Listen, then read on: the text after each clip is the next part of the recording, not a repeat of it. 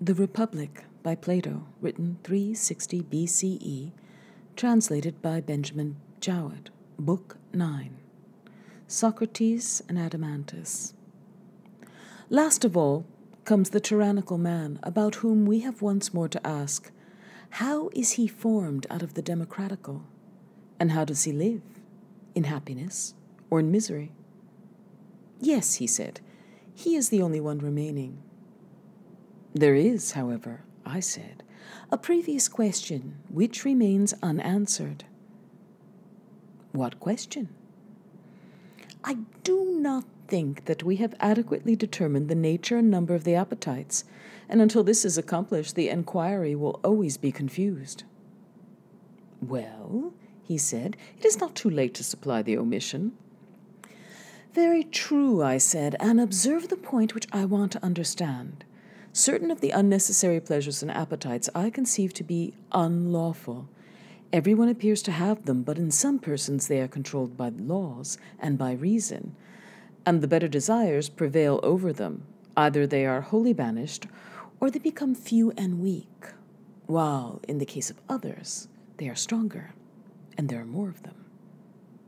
Which appetites do you mean? I mean those which are awake when the reasoning and human and ruling power is asleep. Then the wild beast within us, gorged with meat or drink, starts up and, having shaken off sleep, goes forth to satisfy his desires. And there is no conceivable folly or crime, not excepting incest or any other unnatural union or parricide or the eating of forbidden food, which, at such a time, when he has parted company with all shame and sense, a man may not be ready to commit. Most true, he said. But when a man's pulse is healthy and temperate, and when before going to sleep he has awakened his rational powers, and fed them on noble thoughts and inquiries, collecting himself in meditation, after having first indulged his appetites neither too much nor too little, but just enough to lay them to sleep, and prevent them in their enjoyments and pains from interfering with the higher principle, which he leaves in the solitude of pure abstraction, free to contemplate and aspire to the knowledge of the unknown, whether in past, present, or future.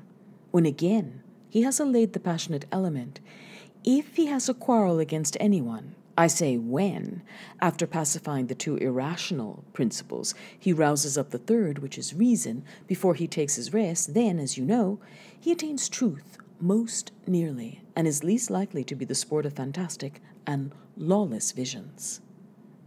I quite agree. In saying this, I have been running into a digression, but the point which I desire to note is that in all of us, even in good men, there is a lawless, wild beast nature which peers out in sleep. Pray, consider whether I am right, and you agree with me. Yes, I agree. And now, remember the character which we attributed to the democratic man. He was supposed from his youth upwards to have been trained under a miserly parent, who encouraged the saving appetites in him, but discountenanced the unnecessary, which aim only at amusement and ornament. True.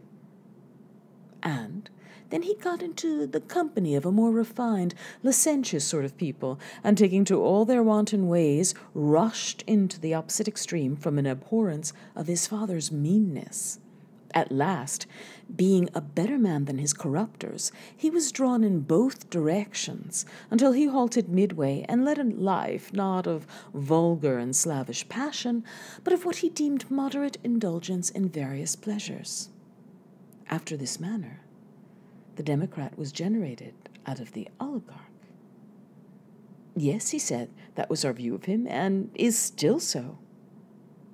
And now, I said, Years will have passed away, and you must conceive this man, such as he is, to have a son who is brought up in his father's principles. I can imagine him. Then you must further imagine the same thing to happen to the son which has already happened to the father.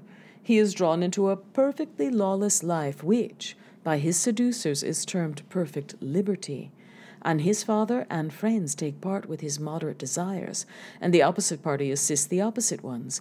As soon as these dire magicians and tyrant makers find that they are losing their hold on him, they contrive to implant in him a master passion, to be lord over his idle and spendthrift lusts, a sort of monstrous winged drone.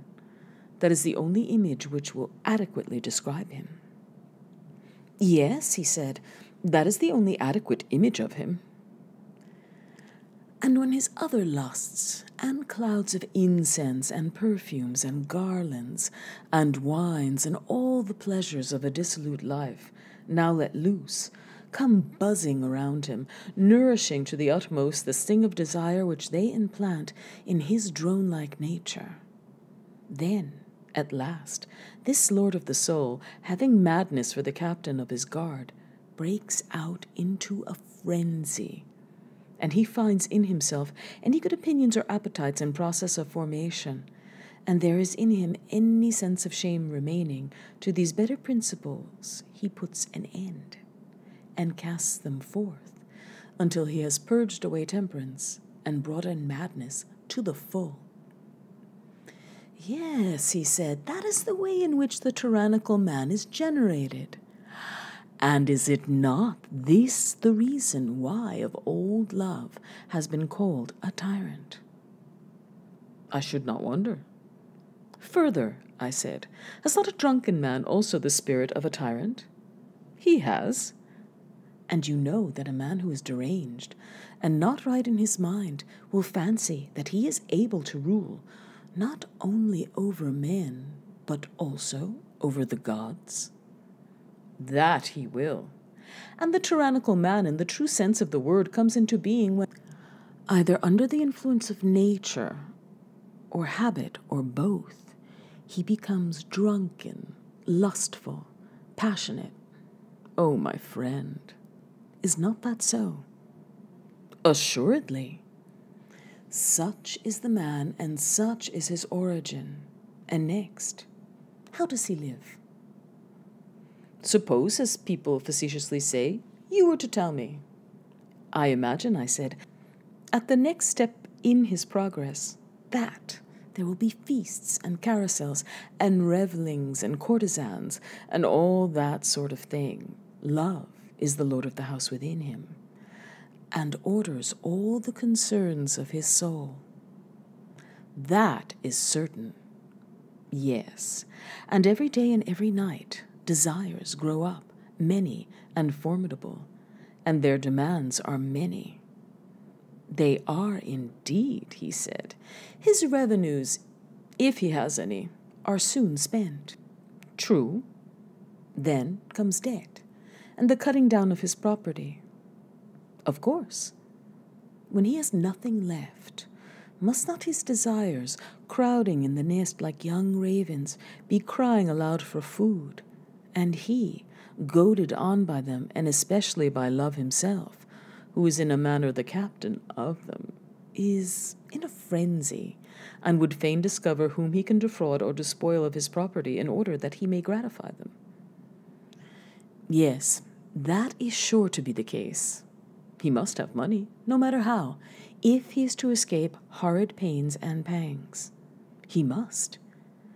And, as in himself, there was a succession of pleasures, and the new got the better of the old, and took away their rights, so he, being younger, will claim to have more than his father and his mother.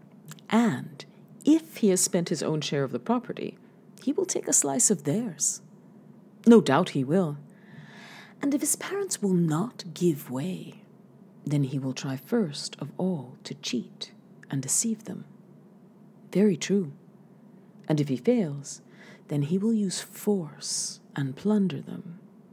Yes, probably. And if the old man and woman fight for their own, what then, my friend? Will the creature feel any compunction at tyrannizing over them? Nay, he said, I should not feel at all comfortable about his parents. But, oh heavens, Adeimantus, on account of some newfangled love of a harlot, who is anything but a necessary connection, can you believe that he would strike the mother who is his ancient friend and necessary to his very existence, and would place her under the authority of the other when she is brought under the same roof with her? Or that, under like circumstances, he would do the same to his withered old father, first and most indispensable of friends, for the sake of some newly found blooming youth who is the reverse of indispensable. Yes, indeed, he said, I believe that he would. Truly, then, I said, a tyrannical son is a blessing to his father and mother. He is indeed, he replied. He first takes their property and when that fails, and the pleasures are beginning to swarm in the hive of his soul, then he breaks into a house or steals the garments of some nightly wayfarer. Next, he proceeds to clear a temple.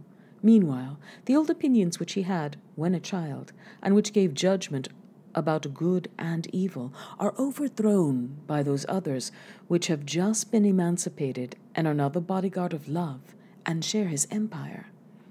These, in his democratic days, when he was still subject to the laws and to his father, were only let loose in the dreams of sleep. But now that he's under the dominion of love, he becomes always and in waking reality what he was then very rarely and in a dream only. He will commit the foulest murder, or eat forbidden food, or be guilty of any other horrid act. Love is his tyrant, and lives lordly in him and lawlessly, and being himself a king, leads him on, as a tyrant leads a state, to the performance of any reckless deed by which he can maintain himself and the rabble of his associates, whether those whom evil communications have brought in from without, or those whom he himself has allowed to break loose within him, by reason of a similar evil nature in himself. Have we not here a picture of his way of life? Yes, indeed, he said. And if there are only a few of them in the state, the rest of the people are well disposed. They go away and become the bodyguard or mercenary soldiers of some other tyrant who may probably want them for a war. And if there's no war, they stay at home and do many little pieces of mischief in the city. What sort of mischief? For example, they are the thieves, burglars, cut purses, footpads, robbers of temples, man stealers of the community. Or, if they are able to speak, they turn informers and bear false witness and take bribes. A small catalogue of evils, even if the perpetrators of them are few in number. Yes, I said, but small and great are comparative terms, and all these things in the misery and evil which they inflict upon a state do not come within a thousand miles of the tyrant. When this noxious class and their followers grow numerous and become conscious of their strength, assisted by the infatuation of the people, they choose from among themselves the one who has most of the tyrant in his own soul, and him they create their tyrant. Yes, he said, and he will be the most fit to be tyrant. If the people yield, well and good. But if they resist him, as he began by beating his own mother and father, so now, if he has the power, he beats them, and will keep his dear old fatherland or motherland, as the Cretans say, in subjection to his young retainers, whom he has introduced to be their rulers and masters. This is the end of his passions and desires. Exactly. When such men are only private individuals, and before they get power, this is their character. They associate entirely with their own flatterers or ready tools. Or if they want anything from anybody, they in their turn are equally ready to bow down before them. They profess every sort of affection for them. But when they have gained their point, they know them no more. Yes, truly. They are always either the masters or servants, and never the friends of anybody. The tyrant never tastes of true freedom or friendship. Certainly not. And may we not rightly call such men treacherous? No question. Also, they are utterly unjust, if we are right in our notion of justice. Yes, he said, and we were perfectly right. Let us then sum up, in a word, I said, the character of the worst man. He is the waking reality of what we dreamed. Most true. And this is he who, being by nature most of a tyrant, bears rule, and the longer he lives, the more of a tyrant he becomes. Socrates and Glaucon. That is certain, said Glaucon, taking his turn to answer. And will not he who has been shown to be the wickedest be also the most miserable, and he who has tyrannized longest and most, most continually and truly miserable, although this may not be the opinion of men in general? Yes, he said, inevitably. And must not the tyrannical man be like the tyrannical state, and the democratical man like the democratical state, and the same of the others? Certainly. And, as state is to state in virtue and happiness, so is man in relation to man? To be sure. Then, comparing our original city, which was under a king, and the city which is under a tyrant, how do they stand as to virtue? They are opposite extremes, he said, for one is the very best, and the other is the very worst. There can be no mistake, I said, as to which is which, and therefore I will at once enquire whether you would arrive at a similar decision about their relative happiness and misery. And here we must not allow ourselves to be panic stricken at the apparition of the tyrant, who is only a unit and may perhaps have a few retainers about him. Let us go as we ought into every corner of the city and look all about, and then we will give our opinion.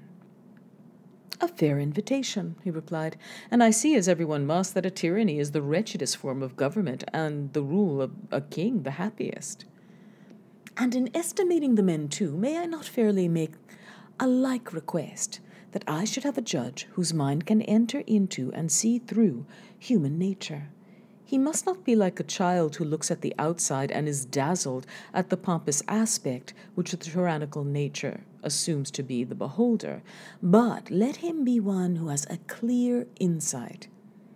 May I suppose that the judgment is given in the hearing of us all by one who is able to judge and has dwelt in the same place with him and been present at his daily life and known him in his family relations, where he may be seen stripped of his tragedy attire, and again in the hour of public danger. He shall tell us about the happiness and misery of the tyrant when compared with other men. That again, he said, is a very fair proposal. Shall I assume that we ourselves are able and experienced judges, and have before now met with such a person? We shall then have someone who will answer our inquiries. By all means. Let me ask you not to forget the parallel of the individual and the state. Bearing this in mind, glancing in turn from one to the other of them, will you tell me their respective conditions? What do you mean? he asked. Beginning with the state, I replied, would you say that a city which is governed by a tyrant is free or enslaved? No city, he said, can be more completely enslaved. And yet, as you see, there are freemen as well as masters in such a state. Yes, he said, I see that there are a few, but the people, speaking generally, and the best of them, are miserably degraded and enslaved. Then, if the man is like the state, I said, must not the same rule prevail? His soul is full of meanness and vulgarity. The best elements in him are enslaved. And there is a small ruling part, which is also the worst and maddest. Inevitably. And would you say that the soul of such an one is the soul of a free man or of a slave? He has the soul of a slave, in my opinion. And the state which is enslaved under a tyrant is utterly incapable of acting voluntarily? Utterly incapable. And also the soul which is under a tyrant, and I am speaking of the soul taken as a whole, is least capable of doing what she desires? There's a gadfly which goads her, and she is full of trouble and remorse. Certainly. And is the city which is under a tyrant rich or poor? Poor. And the tyrannical soul must always be poor and insatiable? True. And must not such a state and such a man be always full of fear? Yes, indeed. Is there any state in which you will find more of lamentation and sorrow and groaning and pain? Certainly not.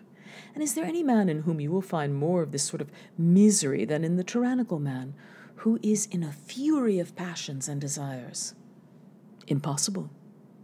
Reflecting upon these and similar evils, you held the tyrannical state to be the most miserable of states. And I was right, he said. Certainly, I said, and when you see the same evils in the tyrannical man, what do you say of him? I say that he is by far the most miserable of all men. There, I said, I think you are beginning to go wrong. What do you mean? I do not think that he has yet reached the utmost extreme of misery. Then who is more miserable? One of whom I am about to speak. Who is that? He who is of a tyrannical nature, and instead of leading a private life, has been cursed with the further misfortune of being a public tyrant. From what has been said, I gather that you are right. Yes, I replied, but in this high argument, you should be a little more certain, and should not conjecture only, for of all questions, this respecting good and evil is the greatest. Very true, he said. Let me then offer you an illustration which may, I think, throw a light upon this subject. What is your illustration? The case of rich individuals in cities who possess many slaves. From them you may form an idea of the tyrant's condition, for they both have slaves. The only difference is that he has more slaves. Yes, that is the difference. You know that they live securely and have nothing to apprehend from their servants. What should they fear? Nothing. But do you observe the reason of this? Yes, the reason is that the whole city is leagued together for the protection of each individual.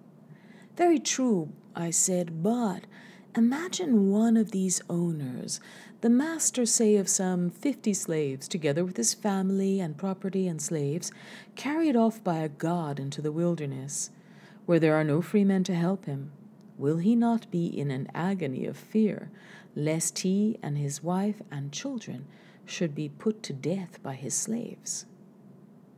Yes, he said, he will be in the utmost fear. The time has arrived when he will be compelled to flatter divers of his slaves and make many promises to them of freedom and other things, much against his will. He will have to cajole his own servants. Yes, he said, that will be the only way of saving himself. And suppose the same God, who carried him away to surround him with neighbors who will not suffer one man to be the master of another, and who, if they could catch the offender, would take his life? His case would be still worse if you suppose him to be everywhere surrounded and watched by enemies. And is not this the sort of prison in which the tyrant will be bound? He, who being by nature such as we have described, is full of all sorts of fears and, and lusts. His soul is dainty and greedy, and yet alone of all men in the city. He is never allowed to go on a journey or to see the things which other free men desire to see. But he lives in his hole like a woman hidden in the house, and is jealous of any other citizen who goes into foreign parts and sees anything of interest. Very true, he said.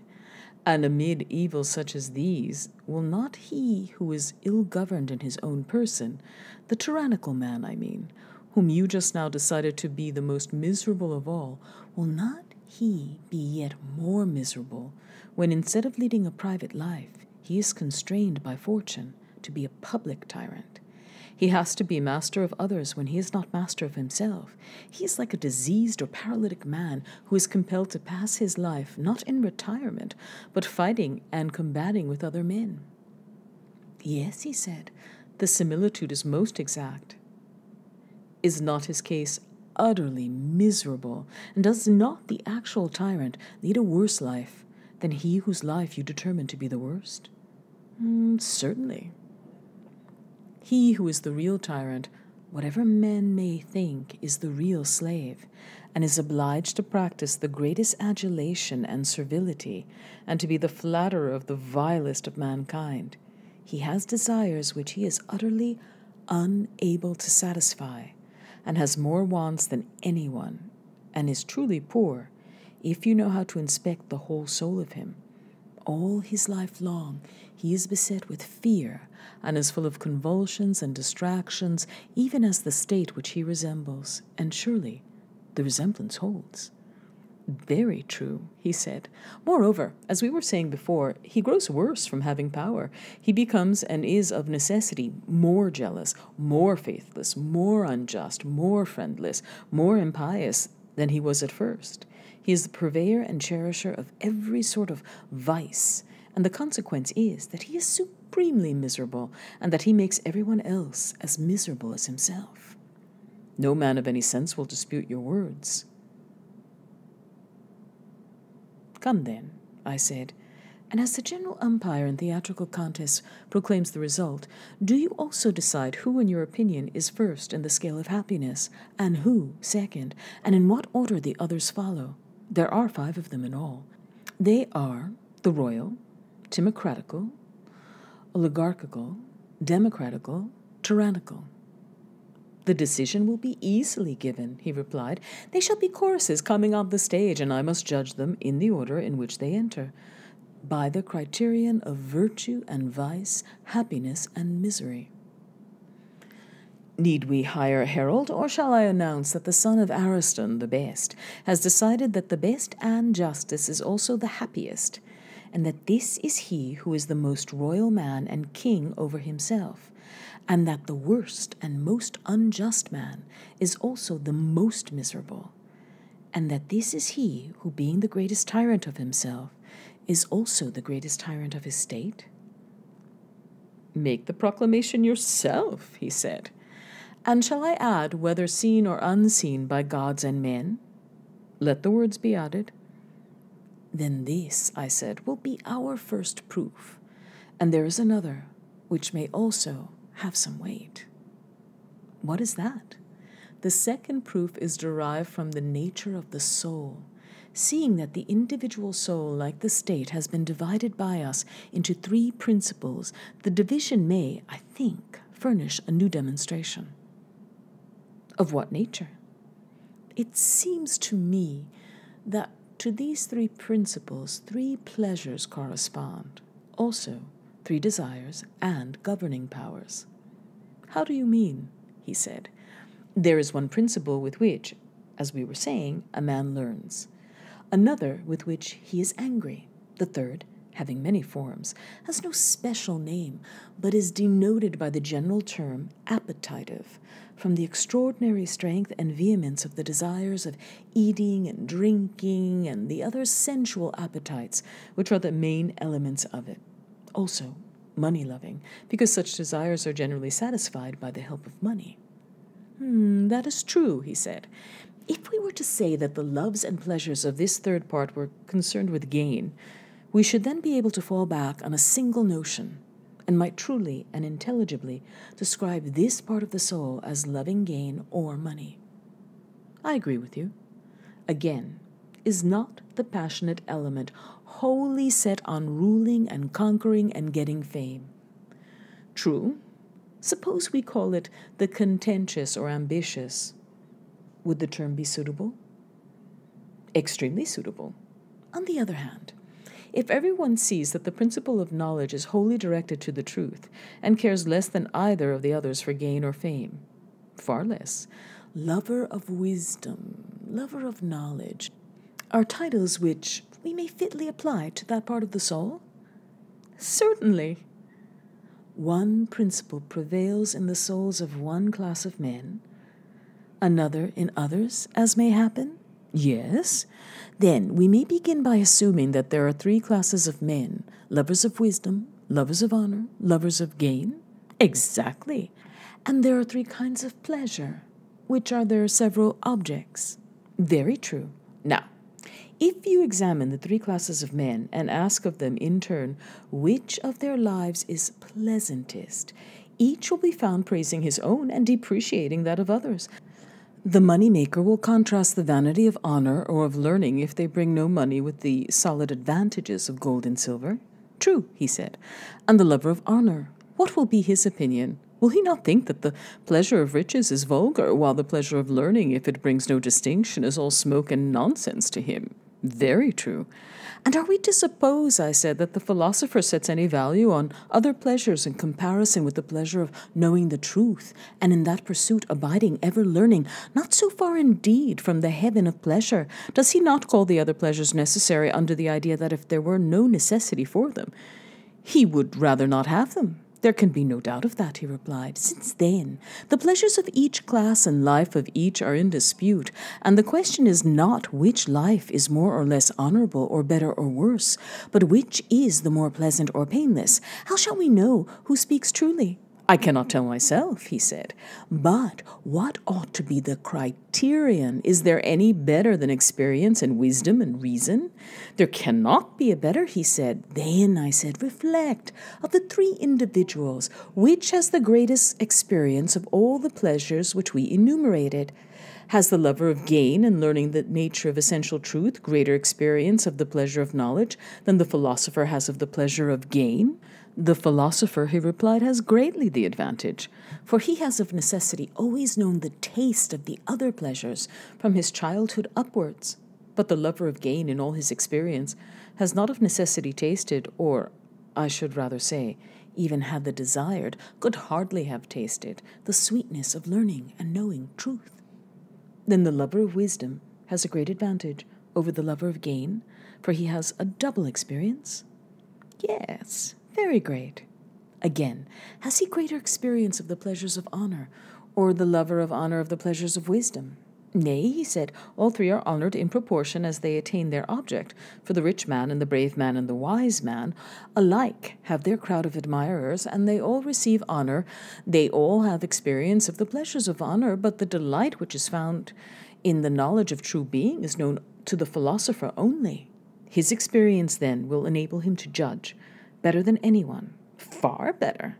And he is the only one who has ex- wisdom as well as experience. Certainly. Further, the very faculty which is the instrument of judgment is not possessed by the covetous or ambitious man, but only by the philosopher. What faculty? Reason, with whom, as we were saying, the decision ought to rest. Yes, and reasoning is peculiarly his instrument. Certainly. If wealth and gain were the criterion, then the praise or blame of the lover of gain would surely be the most trustworthy. Assuredly. Or of honor or victory or courage, in that case, the judgment of the ambitious or pugnacious would be the truest. Clearly. But since experience and wisdom and reason are the judges, the only inference possible, he replied, is that the pleasures which are approved by the lover of wisdom and reason are the truest. And so, we arrive at the result that the pleasure of the intelligent part of the soul is the pleasantest of the three, and that he of us in whom this is the ruling principle has the pleasantest life. Unquestionably, he said, the wise man speaks with authority when he approves of his own life. And what does the judge affirm to be the life which is next, and the pleasure which is next? Clearly that of the soldier and lover of honor, who is nearer to himself than the money maker. Last comes the lover of gain, very true, he said. Twice in succession, then, has the just man overthrown the unjust in this conflict, and now comes the third trial, which is dedicated to the Olympian Zeus the Saviour. A sage whispers in my ear that no pleasure, except that of the wise, is quiet, true, and pure. All others are shadow only, and surely this will prove the greatest and most decisive of falls. Yes, the greatest. But will you explain yourself? I will work out the subject, and you shall answer my questions. Proceed. Say then, is not pleasure opposed to pain? True. And there's a neutral state which is neither pleasure nor pain. There is. A state which is intermediate and a sort of repose of the soul about either. That is what you mean? Yes. You remember what people say when they are sick? What do they say? That after all, nothing is pleasanter than health. But then they never knew this to be the greatest of pleasures until they were ill. Yes, I know, he said. And when persons are suffering from acute pain, you must have heard them say that there's nothing pleasanter than to get rid of their pain. I have, and there are many other causes of suffering in which the mere rest and cessation of pain, and not any positive enjoyment, is extolled by them as the greatest pleasure. Yes, he said, at the time they are pleased and well content to be at rest. Again, when pleasure ceases, that sort of rest or cessation will be painful. Doubtless, he said. Then the intermediate state of rest will be pleasure and will also be pain, so it would seem. But can that which is neither become both? I should say not. And both pleasure and pain are motions of the soul, are they not? Yes. But that which is neither was just now shown to be rest and not motion, and in a mean between them. Yes. How then can we be right in supposing that the absence of pain is pleasure, or that the absence of pleasure is pain? Impossible. Then this is an appearance only, and not a reality. That is to say, the rest is pleasure at the moment and in comparison of what is painful, and painful in comparison of what is pleasant, but all those representations, when tried by the test of true pleasure, are not real, but in a sort of mm, imposition. That is the inference. Look at the other class of pleasures which have no antecedent pains, and you will no longer suppose, as you perhaps may at present, that pleasure is only the cessation of pain, or pain of pleasure. What are they, he said, and where shall I find them? There are many of them. Take as an example the pleasures of smell, which are very great and have no antecedent pains. They come in a moment, and when they depart, leave no pain behind. Most true, he said. Let us not, then, be induced to believe that pure pleasure is the cessation of pain, or pain of pleasure. No, Still, the more numerous and violent pleasures which reach the soul through the body are generally of this sort. They are reliefs of pain. That is true. And the anticipation of future pleasures and pains are of a like nature. Yes. Shall I give you an illustration of them? Let me hear. You would allow, I said, that there is in nature an upper and lower and middle region. I should. And if a person were to go from the lower to the middle region, would he not imagine that he is going up? And he who is standing in the middle and sees whence he has come would imagine that he is already in the upper region, if he has never seen the true upper world. To be sure, he said, how can he think otherwise? But if he were taken back again, he would imagine, and truly imagine, that he was descending. No doubt, all that would arise out of his ignorance of the true upper and middle and lower regions.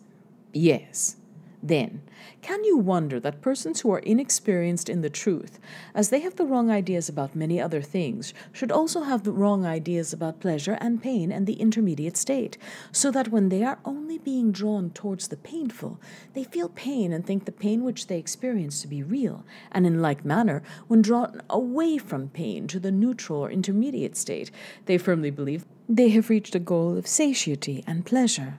They, not knowing pleasure, err in contrasting pain with the absence of pain, which is like contrasting black with grey instead of white. Can you wonder, I say, at this? No, indeed, I should be much more disposed to wonder at the opposite. Look at the matter thus hunger, thirst, and the like are inanitions of the bodily state? Yes, and ignorance and folly are inanitions of the soul. True, and food and wisdom are the corresponding satisfactions of either. Certainly. And is the satisfaction derived from that which has less or from that which has more existence the truer? Clearly from that which has more.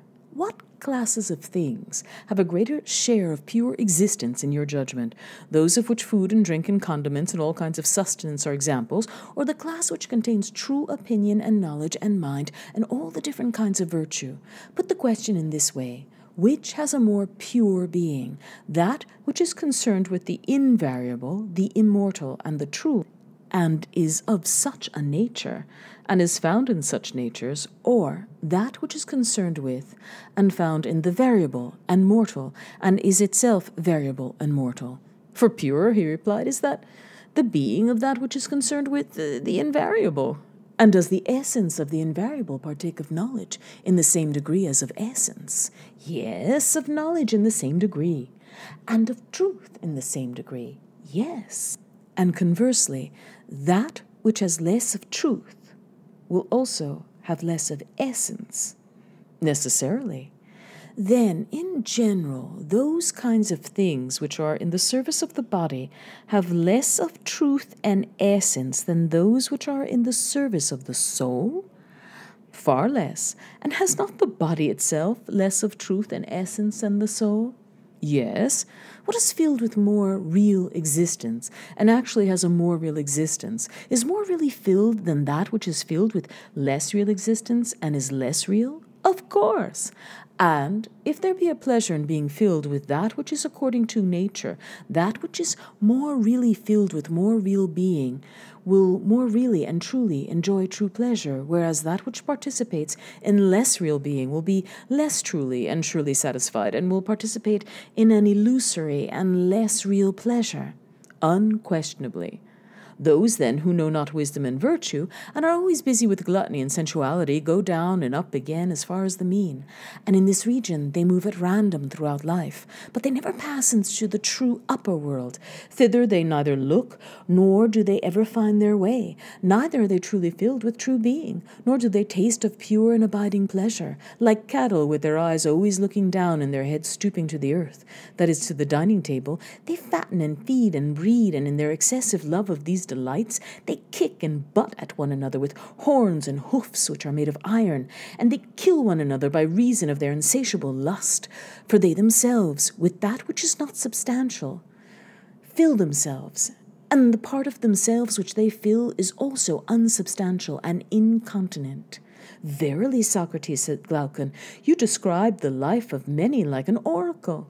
Their pleasures are mixed with pains. How can they be otherwise? For they are mere shadows and pictures of the true, and are colored by contrast which exaggerates both light and shade. And so they implant in the minds of fools insane desires of themselves, and they are fought about, as Stesichorus says, that the Greeks fought, and the shadow of Helen of Troy, in ignorance of the truth.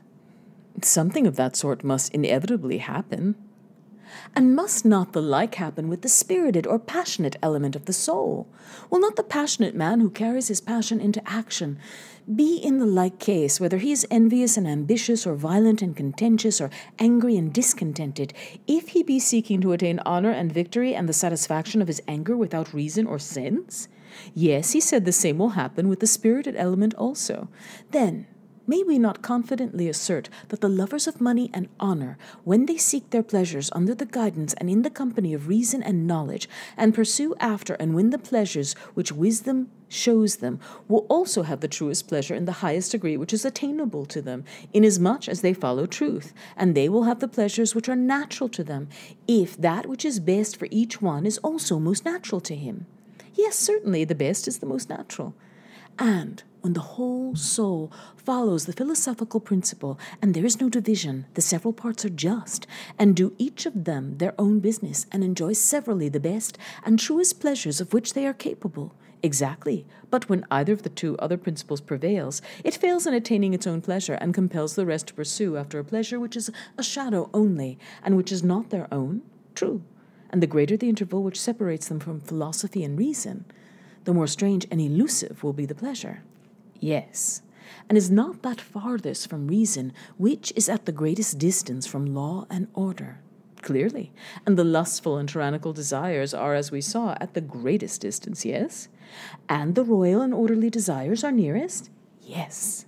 Then the tyrant will live at the greatest distance from true or natural pleasure, and the king at the least? Certainly. But if so, the tyrant will live most unpleasantly, and the king most pleasantly. Inevitably. Would you know the measure of the interval which separates them? Will you tell me? There appear to be three pleasures, one genuine and two spurious. Now, the transgression of the tyrant reaches a point beyond the spurious. He has run away from the region of law and reason, and taken up his abode with certain slave pleasures, which are his satellites, and the measure of his inferiority can only be expressed in a figure. How do you mean? I assume I said that the tyrant is in the third place from the oligarch, and the democrat was in the middle. Yes, and if there is truth in what has preceded, he will be wedded to an image of pleasure which is thrice removed as to truth from the pleasure of the oligarch. He will, and the oligarch is third from the royal, which we count as one royal and aristocratical. Yes, he is third, then the tyrant is removed from true pleasure by a space of a number which is three times three. Manifestly. The shadow, then, of tyrannical pleasure, determined by the number of length, will be a plane figure. Certainly, and if you raise the power and make the plane a solid, there is no difficulty in seeing how vast is the interval by which the tyrant is parted from the king. Yes, the arithmetician will easily do the sum. Or, if some person begins at the other end and measures the interval by which the king is parted from the tyrant, in truth of pleasure, he will find him, when the multiplication is complete, living seven hundred twenty nine times more pleasantly, and the tyrant more painfully by this same interval. What a wonderful calculation! And how enormous is the distance which separates the just from the unjust in regard to pleasure and pain! Yet, a true calculation, I said, and a number which concerns human life, if human beings are concerned with days and nights and months and years. Yes, he said, human life is certainly concerned with them. Then, if the good and just man be thus superior in pleasure to the evil and unjust, his superior will be infinitely greater in propriety of life and in beauty and virtue. Immeasurably greater. Well, I said, and now having arrived at this stage of the argument, we may revert to words which brought us hither. Was not someone saying that injustice was a gain to the perfectly unjust who was reputed to be just? Yes, that was said. Now then, having determined the power and quality of justice and injustice, let us have a little conversation with him. What shall we say to him? Let us make an image of the soul, that he may have his own words presented before his eyes. Of what sort? An ideal image of the soul, like the composite creations of ancient mythology, such as the Chimera or Scylla or Cerberus, and there are many others in which two or more different natures are said to grow into one. Then, do you now model the form of the multitudinous, many headed monster, having a ring of heads of all manner of beasts, tame and wild, which he is able to generate and metamorphose at will? You suppose marvelous powers in the artist, but as language is more pliable than wax or any similar substance, let there be such a model as you propose. Suppose, now, that you make a second form, as of a lion, and a third of a man, the second smaller than the first, and the third smaller than the second. That, he said, is an easier task, and I have made them as you say. And now join them, and let the three grow into one. That has been accomplished. Next, fashion the outside of them into a single image, as of a man, so that he who is not able to look within and sees only the outer hull may believe the beast to be a single human creature. I have done so, he said.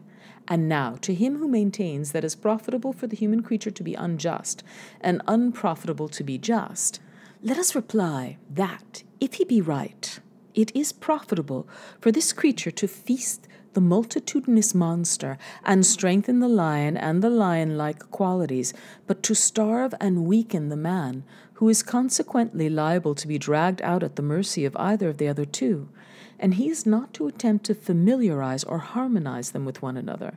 He ought rather to suffer them to fight and bite and devour one another.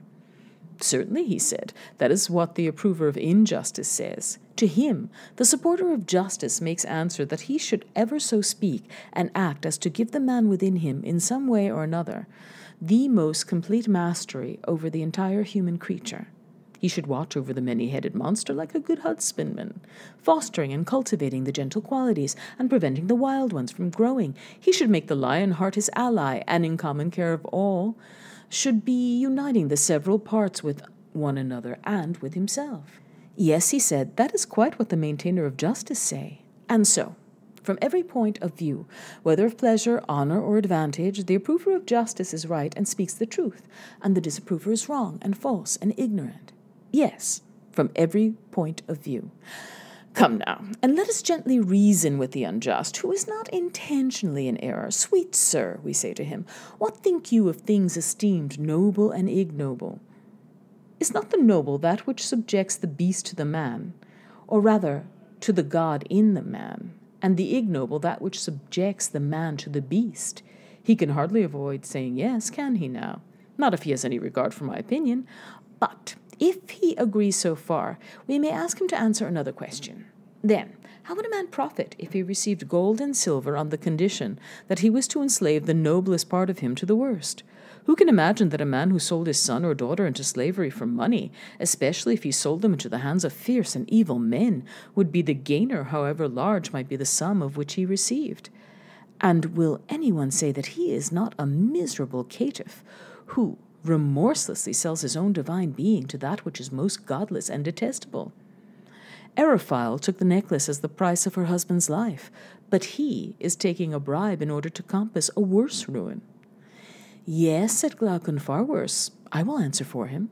Has not the intemperate been censured of old because in him the huge multiform monster is allowed to be too much at large? Clearly, and men are blamed for pride and bad temper when the lion and serpent element in them disproportionately grows and gains strength. Yes, and luxury and softness are blamed because they relax and weaken this same creature and make a coward of him. Very true. And is not a man reproached for flattery and meanness who subordinates the spirited animal to the unruly monster, and for the sake of money of which he can never have enough, habituates him in the days of his youth to be trampled in the mire, and from being a lion to become a monkey? True, he said. And why are mean employments and manual arts a reproach only because they imply a natural weakness of the higher principle. The individual is unable to control the creatures within him, but has to court them, and his great study is how to flatter them. Such appears to be the reason, and therefore, being desirous of placing him under a rule like that of the best, we say that he ought to be the servant of the best in whom the divine rules, not as Thrasymachus supposed, to the injury of the servant, but because every one had better be ruled by divine wisdom dwelling within him, or, if this is impossible, then by an external authority, in order that we may all be, as far as possible, under the same government, friends, and equals. True, he said. And this is clearly seen to be the intention of law, which is the ally of the whole city, and is also seen in the authority which we exercise over children and the refusal to let them be free until we have established in them a principle analogous to the constitution of a state, and by cultivation of this higher element have set up in their hearts a guardian and ruler like our own, and when this is done, they may go their ways. Yes, he said, the purpose of the law is manifest. From what point of view, then, and on what ground can we say that a man is profited by injustice or intemperance or other baseness, which will make him a worse man, even though he acquire money or power by his wickedness? From no point of view at all. What shall he profit if his injustice be undetected and unpunished? He who is undetected only gets worse, whereas he who is detected and punished has the brutal part of his nature silenced and humanized the gentler element in him is liberated, and his whole soul is perfected and ennobled by the acquirement of justice and temperance and wisdom, more than the body ever is by receiving gifts of beauty, strength, and health, in proportion as the soul is more honorable than the body. Certainly, he said, to this nobler purpose the man of understanding will devote the energies of his life, and in the first place, he will honor studies which impress the qualities on his soul and disregard others? Clearly, he said. In the next place, he will regulate his bodily habit and training, and so far will he be from yielding to brutal and irrational pleasures that he will regard even health as quite a secondary matter. His first object will be not that he may be fair or strong or well, unless he is likely thereby to gain temperance, but he will always desire so to attempt the body as to preserve the harmony of the soul? Certainly he will, if he has true music in him. And in the acquisition of wealth, there is a principle of order and harmony which he will also observe. He will not allow himself to be dazzled by the foolish applause of the world and heap up riches to his own infinite harm. Certainly not, he said. He will look at the city which is within him, and take heed that no order occur in it, such as might arise either from superfluity or from want. And upon this principle he will regulate his property, and gain or spend according to his means. Very true. And for the same reason, he will gladly accept and enjoy such honors as he deems likely to make him a better man, but those, whether private or public, which are likely to disorder his life, he will avoid. Then, if that is his motive, he will not be a statesman. By the dog of Egypt he will. In the city which is his own, he certainly will, though in the land of his birth, perhaps not, unless he has a divine call. I understand. You mean that he will be a ruler in the city of which we are the founders, and which exists in idea only, for I do not believe that there is such an one anywhere on earth. In heaven, I replied, there is laid up a pattern of it, methinks, which he who desires may behold, and beholding, may set his own house in order. But whether such an one exists, or ever will exist in fact, is no matter, for he will live after the manner of that city, having nothing to do with any other. I think so, he said.